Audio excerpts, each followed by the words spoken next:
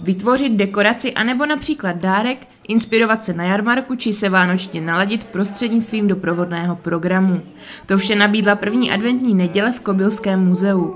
V tomto termínu se zde návštěvníci scházejí pravidelně, aby si společně vychutnali blížící se sváteční období. Je to program uh, Kouzla Vánoc, a neb na Vánoce dlouhé noce. My to pořádáme už jako tradičně, je to asi osmý ročník.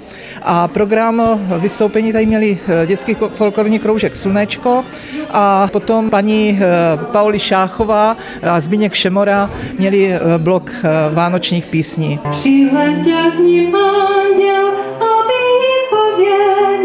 Že se Kristus Pán narodil, aby každý věděl.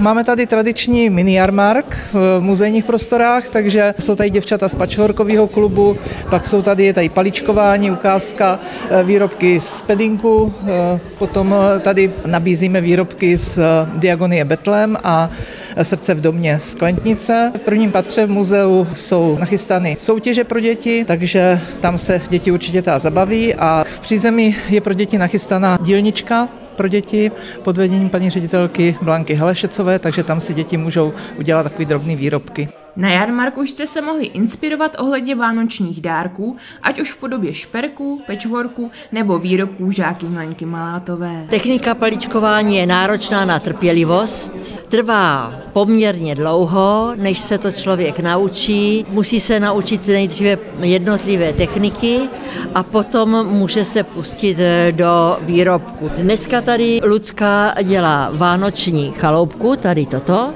a já vánoční stromečky. Tady to, co vidíte na stole, tak to jsou naše výrobky, moje a tady Lucky. Nabízím drobné soustružené věci, e, věci, se kterými si ráda hraju, e, věci pro panenky, svícny, prstínky a cínované šperky.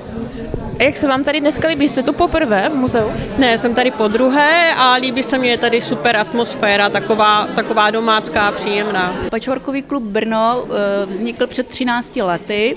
My se věnujeme právě eh, šítí toho pačvorku a zároveň nějaké charitě, takže vždycky do, do nějakých domovů důchodců jako dodáváme nějaké drobnosti a jezdíme za, za jejich klienty a tady jezdíme prodávat naše výrobky každoročně ročně paní Obadalová nás vždycky pozve, tak jsme rádi, že se můžeme ukázat naši práci. Adventní oslava je v muzeu tradicí už téměř jednu dekádu.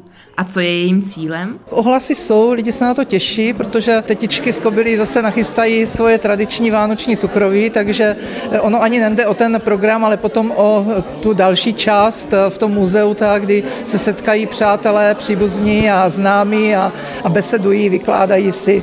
Takže je taková ta sváteční atmosféra.